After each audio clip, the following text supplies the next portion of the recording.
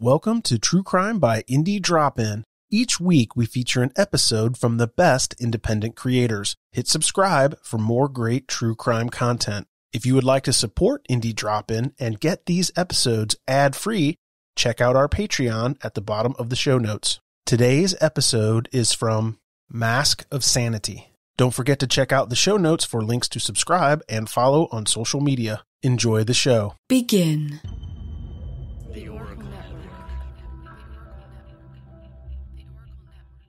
Look deeper.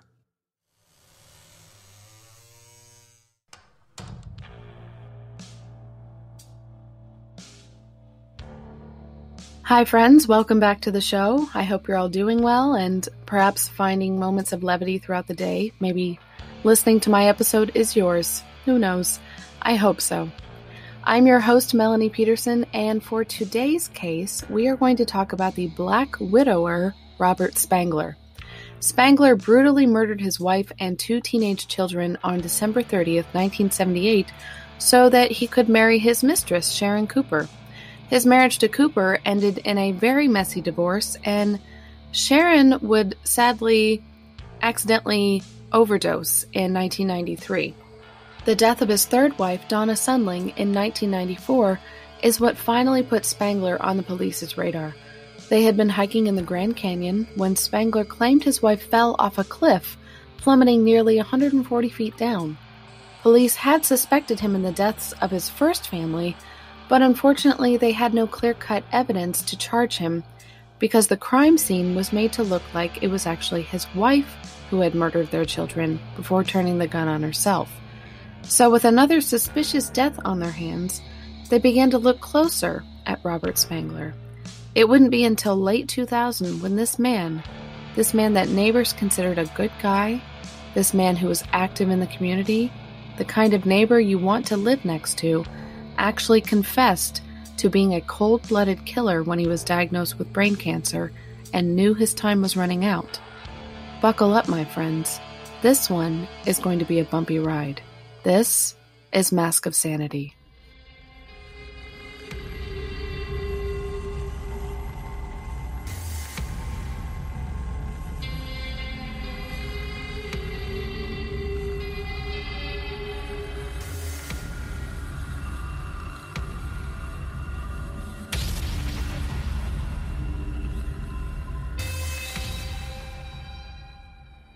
Robert Spangler was born in Des Moines, Iowa on January 10, 1933, but was given up for adoption when he was just a baby.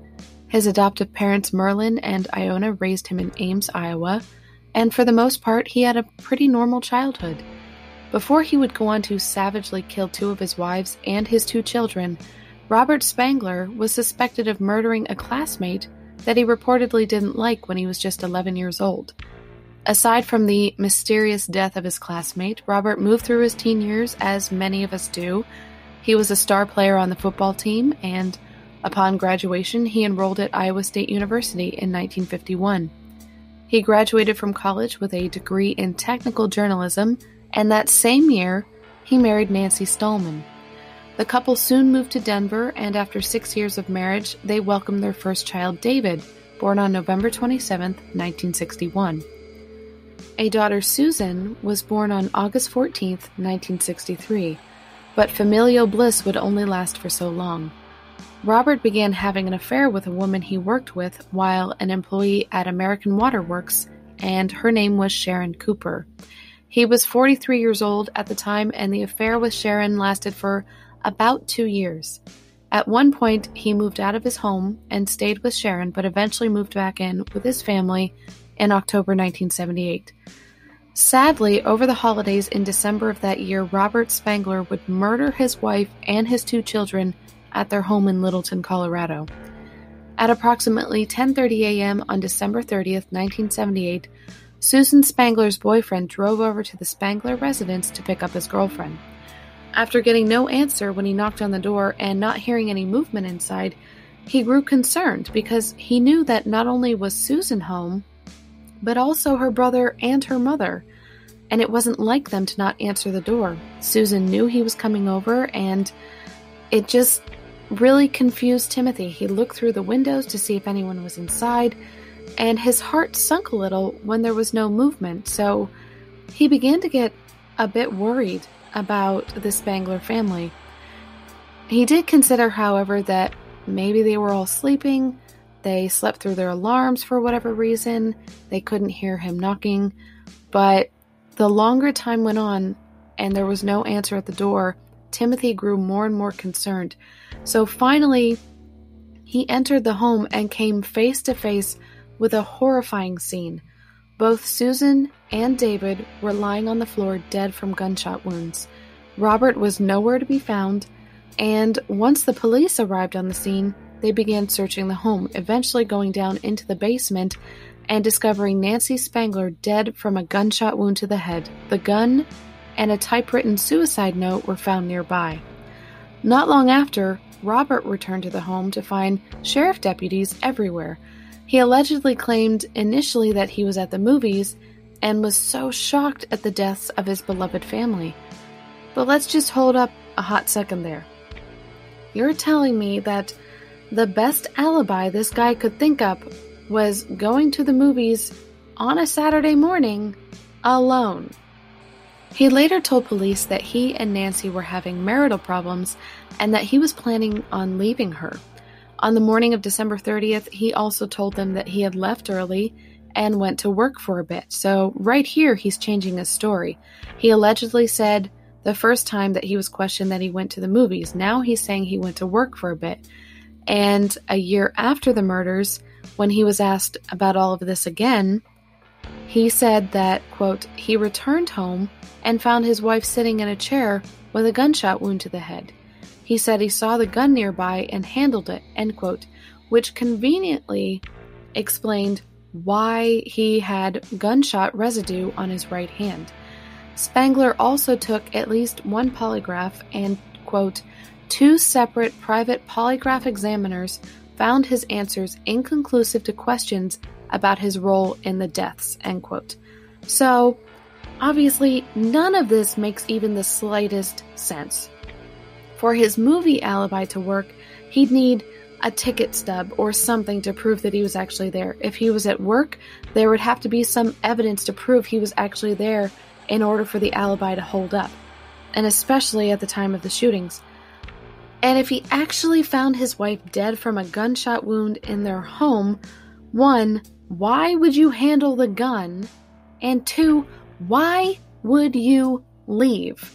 The 38 caliber gun found in the home did belong to Robert Spangler, and like I said, because he claimed he handled it after discovering his wife, it made sense that there would be fingerprints belonging to him on the gun. But again, none of these versions make any sense at all. He's such an unbelievable liar, and his story changed significantly multiple times, so I can't for the life of me figure out how police weren't able to zero in on him as the killer and charge him. Granted, there was some manipulation of the crime scene by Robert Spangler that did make it difficult for police to actually prove with evidence that he was the one responsible. Spangler set the crime scene up so that it looked like Nancy shot and killed her children and then turned the gun on herself in a murder suicide deal and then left the suicide note there as well. And because of that evidence, on January 3rd, 1979, authorities had no choice but to rule that that was what happened. So, as ridiculous as it is, Spangler actually got away with it for a time being. Decades later, Spangler would reveal that the night before the murders, he and Nancy had had a conversation about their marriage and divorce was discussed. The following morning, he, quote, lured his wife Nancy Spangler down into the basement of their home in Littleton, Colorado. He was clever and used the promise of a surprise. Nancy was hoping for some good news. He then shot her in the head with a 38 handgun. Less than seven months after the murders, Robert Spangler married his longtime mistress, Sharon Cooper, on July 14, 1979. They spent a lot of their time hiking in the Grand Canyon, a hobby that he would share with not only Sharon, but future wife Donna Sundling. But after a few years, Sharon and Robert began to have problems.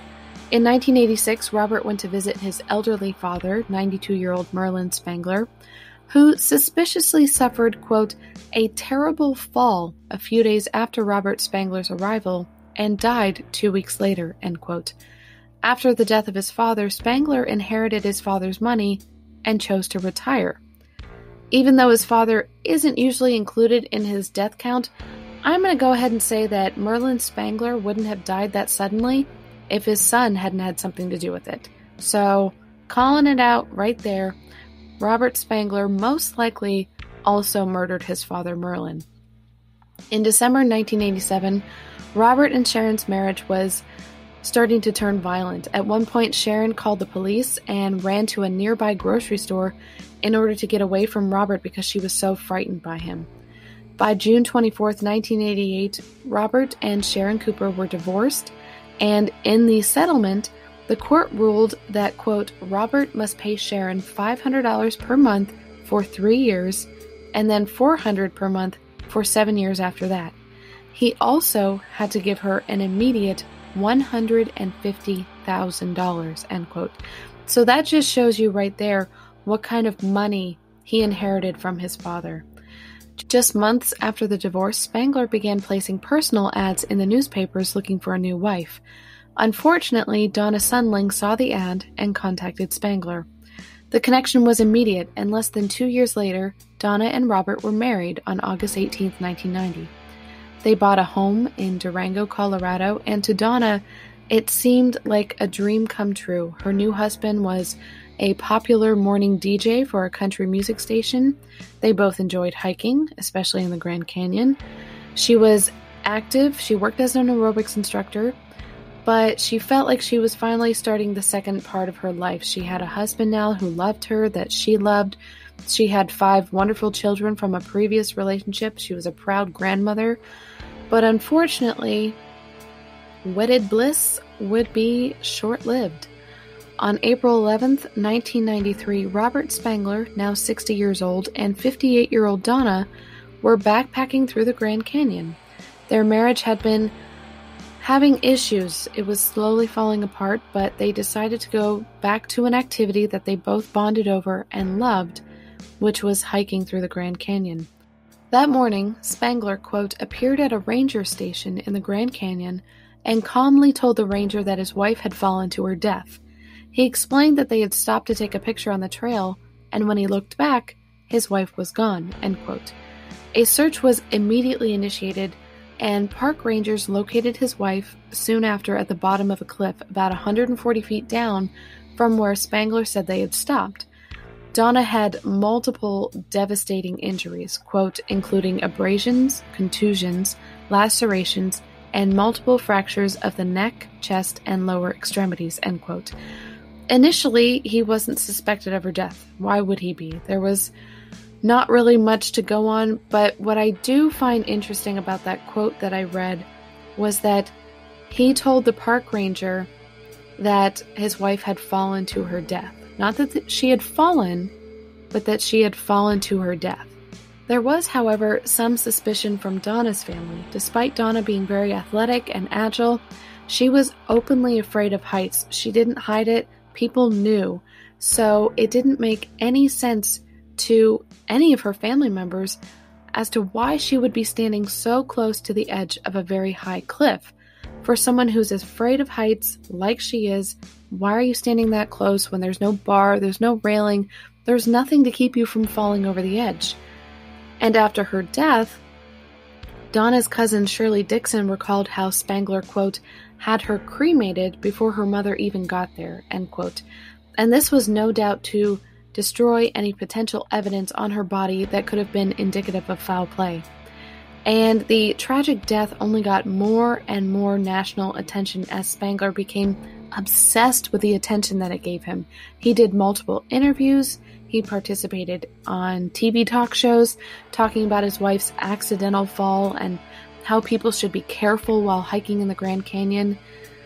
This didn't stop him from going back to hike, however, After her death, he eventually started dating again, and sometimes he would take new romantic partners with him to the Grand Canyon.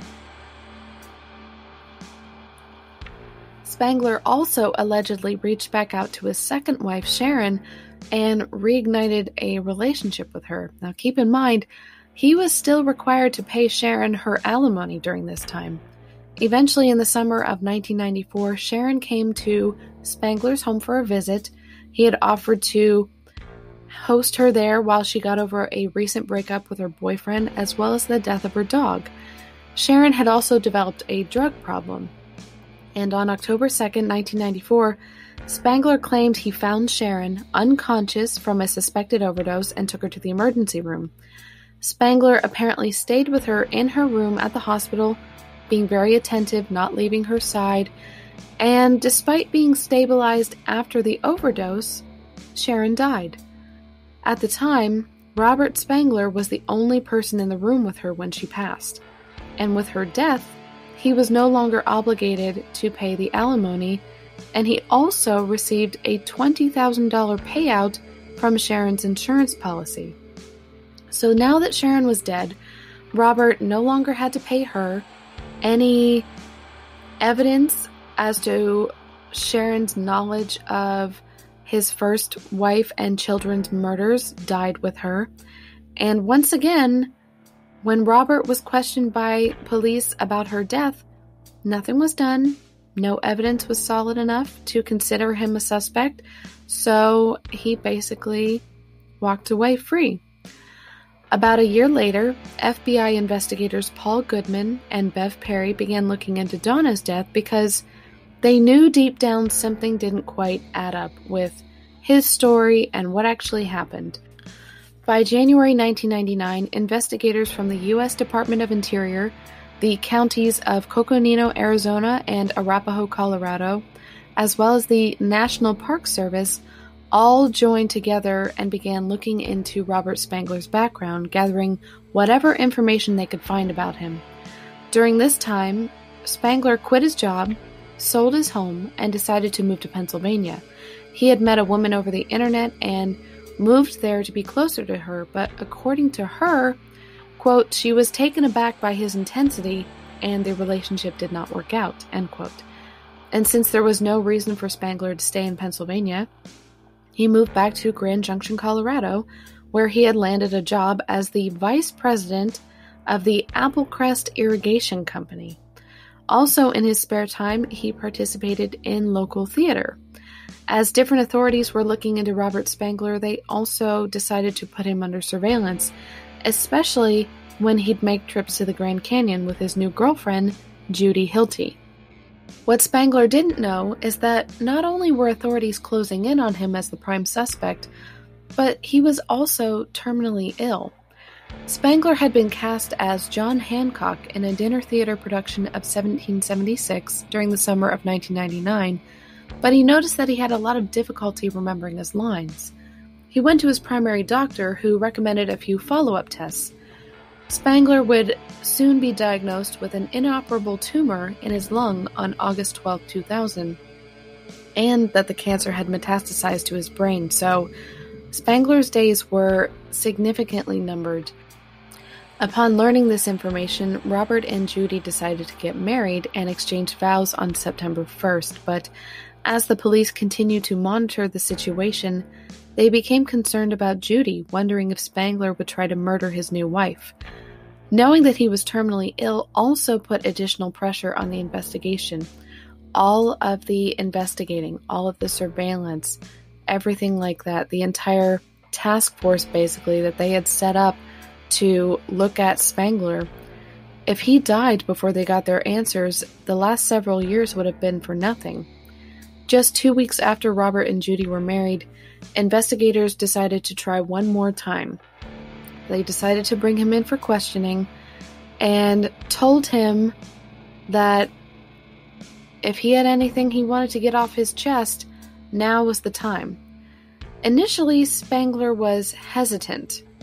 He didn't understand why FBI profilers wanted to talk to him until they explained that, quote, only serial killers are interviewed by profilers, end quote. This, of course, piqued his interest because he is a narcissist to the umpteenth degree. And as they questioned him about the 1978 slaughter of his family, as well as the deaths of Donna and Sharon, he played on his medical condition a bit and claimed that they were asking him far too many different things to remember and he couldn't handle it, so he left. But shortly after he left this first interview, he called one of the FBI agents the following morning to see about continuing the interview.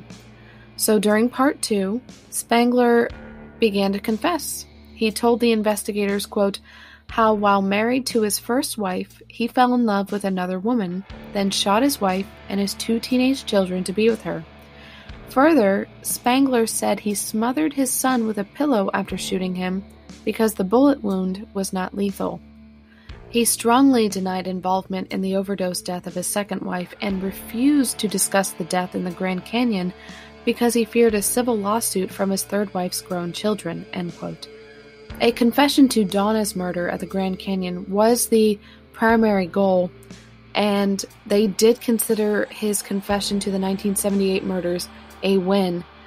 But ultimately, authorities recognized that Spangler wanted the infamy that went along with being labeled a serial killer, so they told him that just because he killed more than one person at the same time didn't mean he was a serial killer.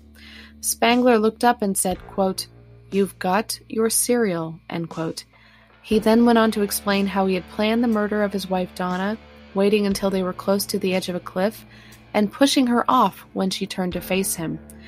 And that's just completely freaking horrible because you know they made eye contact as he shoved her.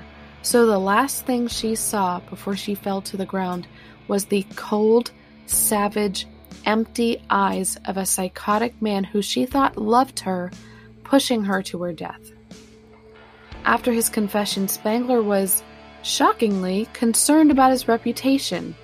He was popular in the community. He had been a well liked radio personality, so he actually sent one of the FBI agents a letter begging them to minimize the case's publicity and stating, quote, that he was not like other serial killers who target people for race or sexual orientation, correctly assessing that some serial killers target groups they perceive as undesirable. Spangler's motivation to kill centered around the anticipated gain of eliminating his wives and children. He also apparently said during one of his interviews that killing his wives was easier than getting a divorce. And when the news broke, to not only the victims' families, who some had suspected him all along, some were shocked, but also to friends. They couldn't believe what they were hearing. Not only did he kill these women and his two children, but he had told everyone different versions of the stories, and none of them had noticed or compared notes. I mean, why would you compare notes, I guess, really. Why would you compare stories? It's so horrible, you don't speak about it more often than you need to. And for example, he told Laurie Lacey, who was a fellow soccer referee with Spangler, that his first wife Nancy had committed suicide. He said his daughter Susan had overdosed on heroin, and that David had been killed in a car accident. Some of the actors in the dinner theater had been told one of his wives died of cancer. Even his new wife Judy was baffled at the confession to the point where she told a neighbor she felt duped and completely numb. Shortly after his confession, Spangler was, quote, indicted by a federal grand jury in Phoenix in the 1993 death of Donna Sundling Spangler, end quote. He was also, quote, charged in Colorado with murdering his first wife and two children because according to prosecutors, he was dissatisfied with family life. Robert Spangler, charged with first degree murder of Donna, initially pled not guilty on November 5, 2000. He later stated that, quote, his brain cancer had caused him to confess to things he had not done, end quote. But he would end up eventually pleading guilty and signing a plea agreement in federal district court in Arizona to serve life in prison with no chance of parole for Donna's murder. And because he confessed to the murders of Nancy and Susan and David. He was charged, but he was never convicted of those. I don't think he even went to trial for those. And I think at that point, authorities were just satisfied that he was behind bars and he had finally confessed to ruining so many lives. Robert Spangler would serve less than one year in prison, dying of cancer on August 5th, 2001, at 3:15 a.m. at the Springfield, Missouri Federal Corrections Medical Center. Well, okay then, friends. That was Robert Spangler, the Black Widower serial killer. This case is so unbelievably infuriating because at least at three different points, well, four if you include his father, he was responsible, or at least very highly suspected of murder or foul play in the deaths of a significant other or family member. And for one reason or another, either there wasn't enough evidence or there was some kind of half assed, almost mostly believable alibi that allowed him to slip by without facing the fire. It wasn't until he was dying of cancer and was presented with the opportunity to make a name for himself. It wasn't even that he wanted to get it off his chest because he felt guilty. He wanted to live in infamy. He wanted to be labeled a serial killer and was given this opportunity, so he felt compelled to confess. He is a family annihilator, and I hate family annihilators. I think they are. I don't like any of the killers that I cover, but family annihilators really hit a nerve with me because you there are so many of them and recently they feel like I feel like they popped up a lot more. We hear all the time about Chris Watts, there's Anthony Todd, there's Mark Gago. There's so many different and it's not just men, there are also female family annihilators out there too. But with them, the decision is rarely spontaneous. They don't just snap and decide to kill their family. There's usually a reason for it. Spangler committed his first murders because he fell in love with Sharon and needed his family out of the picture. He no longer wanted to be responsible for his wife or to his children, which is basically the same story as Chris Watts, who murdered his pregnant wife and little girls while having an affair and wanted a quote, fresh start. What's interesting, or not interesting, it's all infuriating, but I guess what is trending among family annihilators is that they tend to commit these murders when the children are not in school. Spangler committed his murders over the holiday break in December 1978 when children are not in school, when the kids wouldn't have been in school. Chris Watts committed his murders in August 2018. And the reason for this, which I'm sure you can figure out, but I'm going to go ahead and say it anyway, is that he committed these murders when there was no expectation for the children to be seen the very next day. So, even though in Spangler's case his family was discovered dead the following day, it gives him a little more leeway, a little more freedom in terms of time and discovery instead of doing it when school is in session and having the schools wondering where the children are and then an investigation gets launched that way. According to an article titled Men Who Murder Their Families, what the research tells us, quote, 90% of the time, the best predictor of domestic violence is past behavior, end quote. So the fact that Sharon Cooper called the police at least once during their marriage because she was frightened of Robert Spangler is evidence right there that Spangler was capable of violent behavior, and realistically, I'd suspect that he behaved violently in each of his marriages. So, Robert Spangler, liar, serial killer, family annihilator, I hope it's hot enough down there for you. All right. Thank you all so much for listening. I say it every week, but I can't tell you how much I appreciate you turning in each week. It means so much. every week I receive words of encouragement, of support, people supporting the show, people telling people about the show.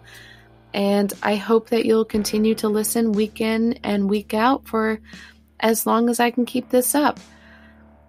And for me, it's really weird to say, I hope you enjoyed the episodes, but I do. I hope that you're learning something. I'm hoping that I'm presenting you with cases that you aren't as familiar with. That's why I tend to choose the ones that I do because I don't know that much about them and I want to learn more. So I hope that's helping you in the same way that it's helping me. As always, you can reach out to Mask of Sanity on any of the social medias. The Instagram is Mask of Sanity the podcast, Twitter is Mask Sanity Pod, the Facebook page is Mask of Sanity the podcast. You can also email me, Mask of Sanity the podcast at gmail.com for any questions, suggestions, feedback, anything like that. Please also go into my episode notes and click on the link for the Oracle Network. Check that out. We have a lot of amazing shows. And my promo trailer today is actually for the Oracle Network's podcast of the month for November, Not Your Normal Murder.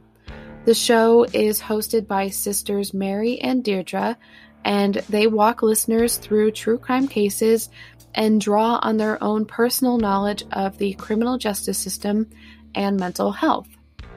So definitely give them a listen, rate, review, subscribe. If you're looking for ways to support Mask of Sanity, I have a Patreon, a merch store, a Ko-fi account.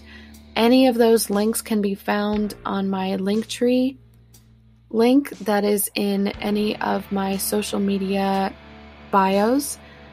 And again, just thank you all so much for listening, and I hope you'll join me next week when I cover the case of Audrey Marie Hilley. Until next time, stay safe, friends.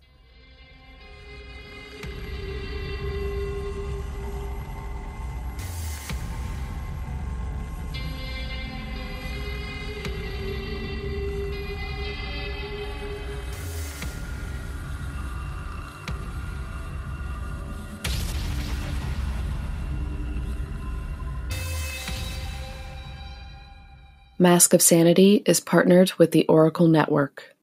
The Menendez brothers. We are talking about Pamela Smart, Andrea Yates. I think that is kind of one of the first things that started my true crime obsession. We're definitely going to be diving into the legal and psychological parts of this case. First of all, you shouldn't be friends with people that ask you to cut up somebody's body. And on the flip side, you shouldn't be friends with somebody who is willing to cut up somebody's body. If she is abusing drugs at 9 and 12 years old, it would make sense that there was some significant abuse going on in the house. That's not normal. Never trust the mother or the lover. Who is a self professed drug dealer in court? That's why we always say get a lawyer because you just fed them this information that they didn't have, and they're now using it against you. Hi, everybody. My name's Mary. And I'm Deirdre. And we're from Not Your Normal Murder podcast. With my experience in psychiatry and my experience in criminal justice, we bring a fresh perspective on small town cases and those cases you can't forget. If you love true crime, a little bit of sarcastic banter, but lots of objective research, come find us on Apple Podcasts or wherever you listen to podcasts. You know what's the best part of Hump Day? There's a new episode every Wednesday. See you there. Thanks again for listening to True Crime by Indie Drop In. If you would like your show featured, reach out to us at Indie Drop In on all social media or go to indiedropin.com. See you next time.